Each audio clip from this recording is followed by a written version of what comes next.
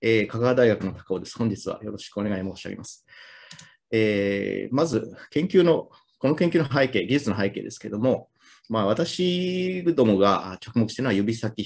触覚ということです。で、様々な世の中にある触覚センサーが、あ指先の力覚までは実現していると思うんですが、その先の皮膚触覚を実現できていないという現状があります。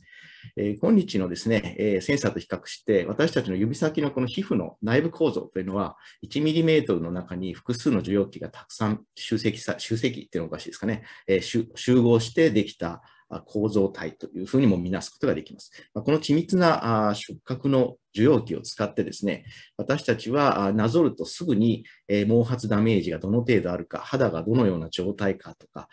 これは高級な素材かそうでないかとか、着心地がいいかということを瞬時に見分けることができます。しかし今日の力学の触覚センサーではこれらができないという実情がありまして、まあ、これをですね、指先並みに精緻かつ高感度にすることでですね、人間の指先と同等、またはそれに勝る触感覚、触覚のテクスチャーを見分けるデバイスが、技術ができるというふうに考えて研究を行ってきました。本研究の背景はですね、クレストのプロジェクト、2020年度、まあ、現在走っているプロジェクトとは別のもう一つ前に当たるプロジェクトなんですが、こちらの成果をですね、A ステップで現在、成果展開しているということで、このここまで得られているクレストの成果をベースにしてますので、まずは2分ほど動画をご覧ください。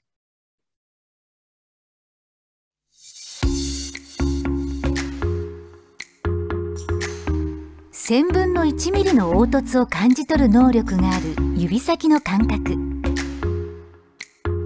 まず目指したのは形がわかるだけじゃなく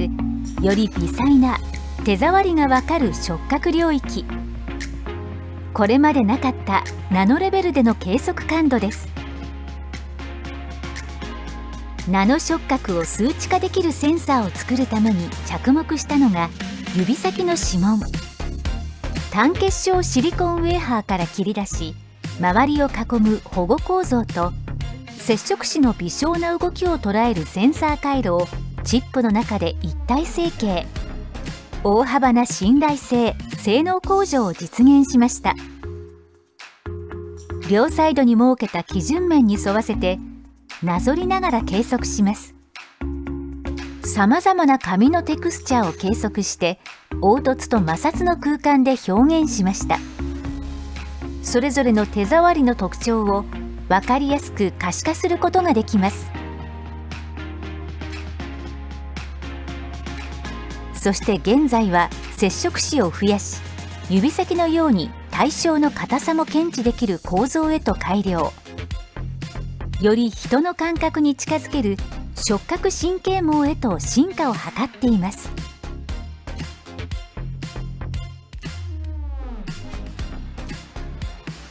手に持ってなぞるだけで弾力ある皮膚表面の凹凸や摩擦と同時にそれぞれの場所の硬さ分布を瞬時にデータ取得できます。皮膚にある同じような突起でも硬さ柔らかさを含めて見分けることができます。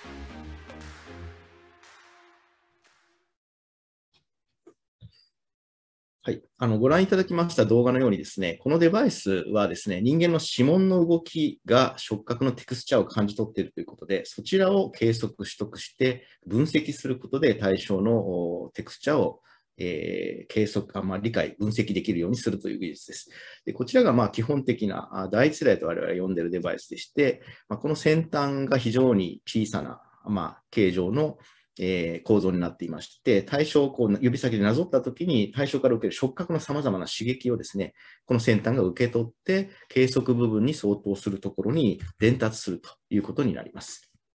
でその伝達された刺激はですね、MEMS の技術で作った極めて精緻なセンサー構造で取得して、えー、非常に小さな空間の分解能と、それから非常に小さな入力分解能で、えー、精密な触覚テクスチャを取得します。まあ、このようにそれぞれの方向に独立して動く構造を、まあ、一体構造でシリコンの単結晶で低コストに実現するという技術です。で、これは性能マップですけど、どれぐらい細かな領域が見れるかということと、どれぐらい小さな力が見れるかということは相反することですので、この右上の方向に向かうほど高度な触覚技術となります。で、2022年の現在で私たちは今現在この、この領域におります。で従来の力学ですね、いわゆるつまむとか、ひねるっていうような力を感じ取る領域はミリメートル以上のオーダーで、ミリニュートン以上の大きさですから、この赤い領域になりまして、テクスチャーを触って分かるようにする領域はこの水色の領域。そして私たちが目指しているのはまさにこれまで未踏の領域であったこの分野ということになります。ちなみに人間の検出検出限界がおそらくこの辺にあるというふうに考えられております。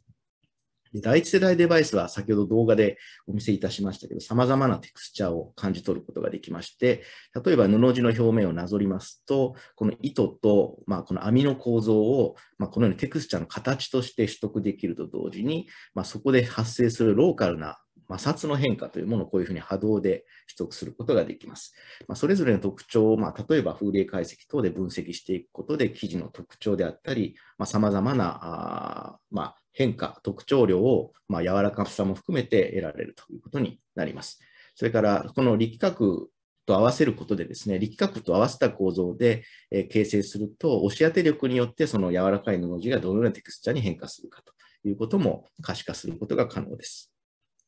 それから人間はですね、10ミクロン以下の凸凹や小さな微細な構造の違いを見分けるのが非常に難しいということがありまして、私たちもま官能評価的にですね、いろんな紙を手触り分けたんですが、クラフト紙と再生紙は非常によく似ています。これを電子顕微鏡で見ると明らかにクラフト紙の方がスカスカですが、電子顕微鏡で常に私たちがテクスチャーを見るわけにいきません。で、これを私たちのデバイスで計測すると、はっきりとした特徴量の差がそれぞれの波形から取得することができまして、明確な区別をすることができます。まあ、これは拡大図ですけども、まあ、スカスカのクラフト紙の方が明らかに大きな摩擦変動や、まあ、凸凹の大きな低周波領域の波動が含まれているということがお分かりになると思います。それから毛髪の表面はですね、ええ、例えばキューティクルの段差が1マイクロメートル以下であったり、まあ、人間が職人さんであっても1マイクロメートルぐらいの段差しか、えー、取得できないということを考えると、人間ではですね、実はキューティクルの表面形状がわかりません。ただ、順方向といいまして、毛先に向かう方向と逆ではなんとなく引っかかり感が違うなということを識別できます。このデバイスはですね、表面形状で一枚一枚のキューティクルの波動を取得できると同時に、まあ、順方向というか毛先に向かってなぞった時の摩擦変化と、それから、まあ、根元に向かってなぞったキューティクルをこう起こすような方向になぞった時の変化が摩擦波動で明確に違っておりまして、まあ、人間以上の力で毛髪の表面手触りを分析できるというツールになっております。で、こちらは、あの、計測システムは今大掛かりですけれども、このような形で、え、毛髪を先端にですね、通す形で、えー、まあ、精密な取得が簡単にできるようになっております。それから先ほどの動画で第二世代デバイスとして紹介されたアレイ型デバイスは、え、人間の指先のように指紋をたくさん持っています。で人間はそのたくさんの指紋からの刺激を神経網から集めて脳の中で統合処理していると考えられます。で、そのような、まず入力部分としてこの第二世代型デバイスを作ってるんですが、まあ、フラットなタイプと人間の指先みたいにちょっとこう丸みを帯びた形をしているものと2つ作ってあります。それから、まあ、このピッチですね、指紋のピッチに相当する部分は人間の平均的な指紋ピッチと呼ばれる400マイクロメートルを参考にほぼ同等の構造になるように作ってあります。で人間はその硬さをですね、触れるた時の判別としてはですね、指先がどのように対象に対して変形するかということを、まあ、認識しながら硬さを識別していると言われております。で硬い素材の場合は指先側がほとんど変形して平坦になりますが、柔らかい素材になるほど指先は元の形を保っていきます。まあ、この形状の特徴をですね、この先端のアレイから読み取ることで、その場所その場所のえー、硬さの分布というものを100マイクロメートルの空間解像度で分解できる技術を開発しました。でこちらはですね、実際に、えー、まあ、あの6本接触子があるタイプの表面をあの肌着の素材ですね、フライス網の表面をなぞって計測している時の動画でございまして、センサーが精密に動いて表面テクスチャーを摩擦と形状で取得している様子がお分かりになると思います。で、これをですね、アレイ的に操作すると、例えば、あこうあの網目の方向に横切っていくとですね、この網目の段々をですね、またぐところに摩擦の明確な抵抗感を感じるという画像が得られます。で、網目に沿ってですね、操作していきますと、そういう段々に相当する部分がありませんので、摩擦にそういった特徴パターンが現れません。まあ、こういうふうに実は、まあ、例えば繊維なんかも違法性を空間的に持っているものなんかが結構あるんですけども、触る方向などによってどのようにテクスチャーが変わるかということも、まあ、このデバイスであれば明確に取得することができます。それからまあ、手触りというか、触覚をですね、可視化したり、数量化したいというニーズは先端医療の分野にもありまして、えー、こちらはま医学部の先生と共同で開発してきた触覚監視となります。でこちらはデバイスの会議で IDM という会議があるんですが、2019年に発表したものでして、えー、臓器に見立てた柔らかいゲルを掴んでですね、それが滑っている様子を、まあ、荷重のこのセンサーの表面に現れる荷重の分布から滑って移動しているということを認識する初めてのデバイスです。でこちらの方は、あのネイチャーエレクトロニクス氏も注目くださって、えー、記事にしてくださいました。で、硬さの分布が100マイクロメートルの解像度で得られるという結果の実証結果をお示しします。まあ、こちらは実はマスクにも使われている不織布の表面なんですけど、これを先ほどの第二世代型デバイスでなぞっていきますと、えー、表面の形状は先ほどのあの二次元マップでお見せしたように6本の接触詞から様々なパターンが出てきますので、えー、それで得られます。それから同時にその場所でどんな摩擦パターンが現れているかということも同時に得られます。そしてこの表面の R がどのように変形しているかということを、その場所その場所で接触子の接触面積の解像力で分解して計測できますので、まあ、およそ100マイクロメートルの空間ピッチで、それぞれ不織布の表面硬さがどのように変化しているか、つまり不織布といっても一様ではありませんので、硬い箇所や柔らかい箇所がどのように分布しているかということを、え形状や摩擦と関係づけて、え可視化することが初めて可能になっております。でこういったあの高精度なものは顕微鏡的に使われることが多いかもしれないですが、我々はあくまでこれをセンサーと捉えております。センサーですので、これはいつでもどこでも使えて、誰でも扱えるようにできる必要があると思います。ですので、まあ、デモンストレーション装置として、まあ、このような手触り感スキャナーというものを、まあ、最近は 3D プリンティング技術が非常に進んでいますから、我々のようなところの小規模の大学でも速やかにですね、プロトタイピングができるわけです。でこの先端のところにデバイスがあうまく組み込まれてスキャナーになっております。で動画にもご覧いただいたと思うんですが、これは第一世代型というかなりやぼったいんですけど、結構複雑な機構でして、えーまあ、こういった複雑な機構なんですけれども、なぞっていくと、滑らかな紙と、えー、ザラザラな紙の表面では、現れる表面形状の大きさが全然違いますし、現れる摩擦のこう刺激もですね、ザラザラの方がいかにもザラザラしているというパターンで出てくることがお分かりになると思います。これをさいろいろなですね、種類の紙にこうプロットしますと、それぞれの紙が持ってるテクスチャーの違い。特に高級なコピー紙ですと触覚刺激が非常に少ないですけども、再生紙になるとそれが増えてくると。で、わらばん紙ぐらいになってくると、もう本当にザラザラしてますから、触覚刺激が非常に大きい。で、和紙なんかも表面がデコボコしてますが、和紙の場合はですね、かなりなんかこう摩擦感が丸く感じると思う思われると思うんですが、えー、それをまあ触覚計測でも表されていまして、わらばん紙以上の表面デコボコがあるんですけども、えー、摩擦刺激自体は非常に小さめに出てくるというところがあの識別できます。まあ、これをプロットすると、まあ、先ほど動画でも出てきたようにいろいろな特徴量でプロットできるんですが、例えば凹凸と摩擦の変動で、えー、プロットすると、まあ、それぞれのあの紙がどういうところに似たもの同士がいるかということが分かるようになってきます。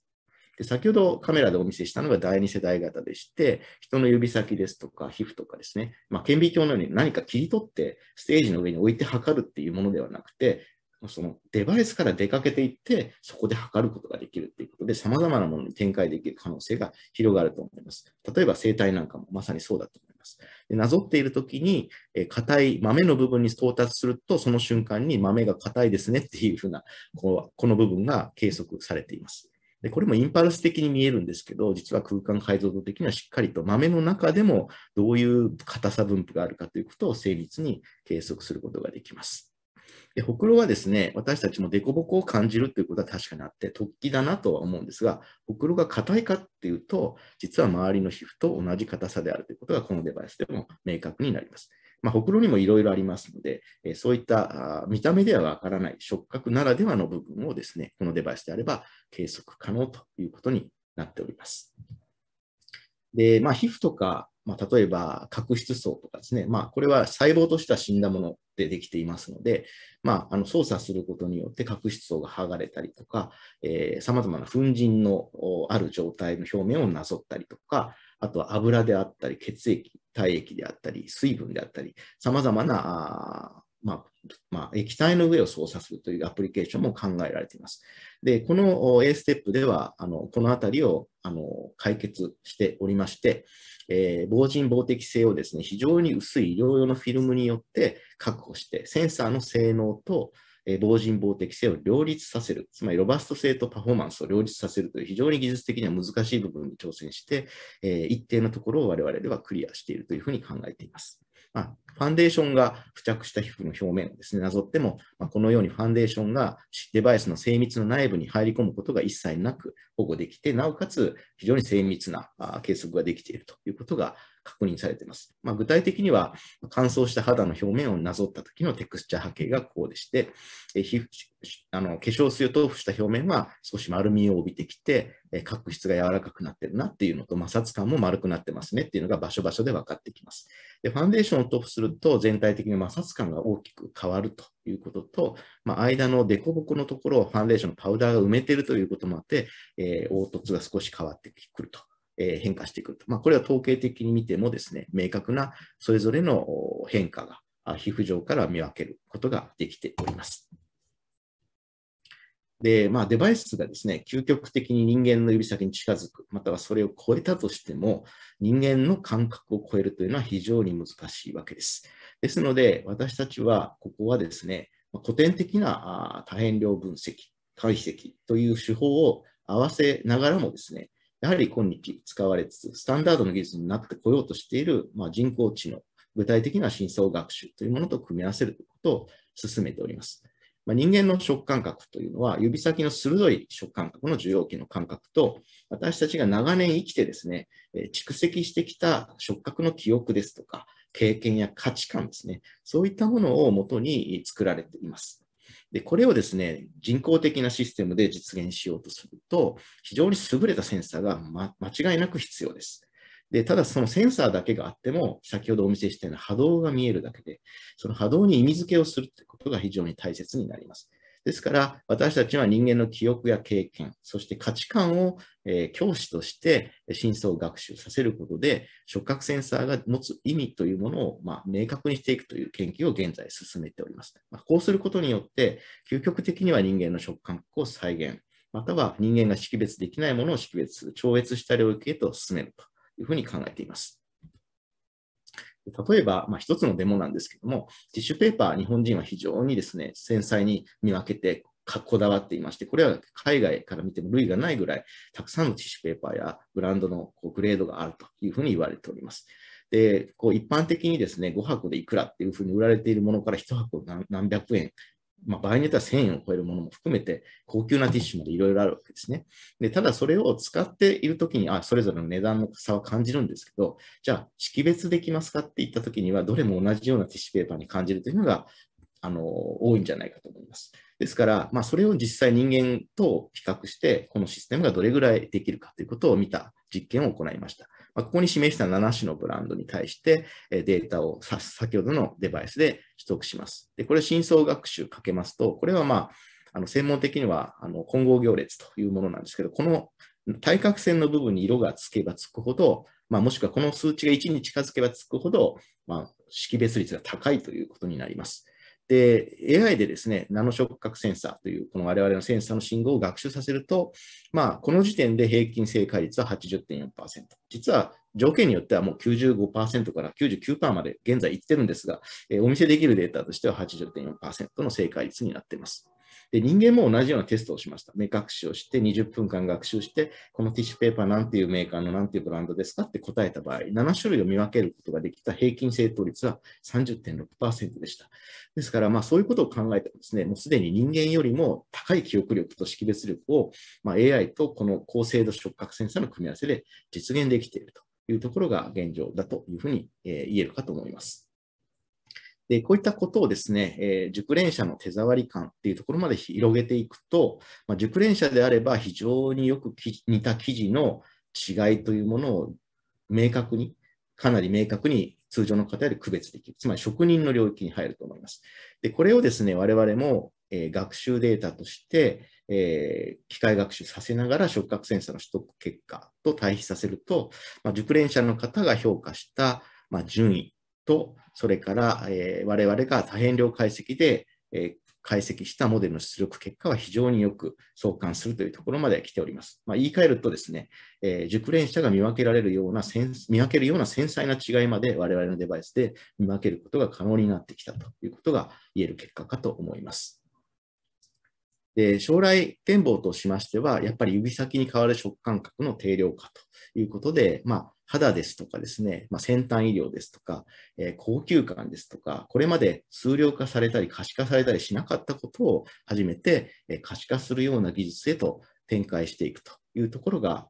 大きな目標になります。で現在はそれぞれがそれぞれの段階に応じてですけれども、達成できているところがありますありますただあ、人間の食感覚というのは、えー、非常にあの生物の中で触覚っていうのは最も原始的と言われていまして、言い換えると騙すのが最も難しい感覚でもあります。ですから、そういった人間が持つ非常に奥深い触覚の世界をですね、技術的に超えていくというのはまだまだ高いハードルがたくさんあるんですけども、まあ、我々はそれに向かって少しずつですが、まあ、この技術を発展させつつ進めている。と同時にですね、この技術が実用になっている段階のものは、どんどんあの社会に還元して、えどんどん活用いただきたいというステージにも到達しております。まあ、その両面、応用と基礎の両面をですね、並行して、え進めているというのが我々の研究グループとなります。で本提案課題に関する知的財産権としては、このようなものが、ま出願、取得されております。でこちらを活用しつつ、新しい技術を展開するということが今後可能ではないかというふうに思います。えそれからこの課題に関する共同研究としては、えパナソニック株式会社様、それからユニチャーム株式会社様、東総株式会社様と数年以上にわたって共同研究を進めさせていただいております。本件はですね、あの香川大学の産学連携知的財産センター、えー、並びに特許の利活用を行う企業である四国 TLO が、あまあ、問い合わせ窓口となっておりまして、本件に関するお問い合わせがもしございましたら、えー、地産学連携知的財産センターの山下の方までお問い合わせをいただければと思います。拙い講演でしたが、以上でございます。ありがとう。ご清聴ありがとうございました。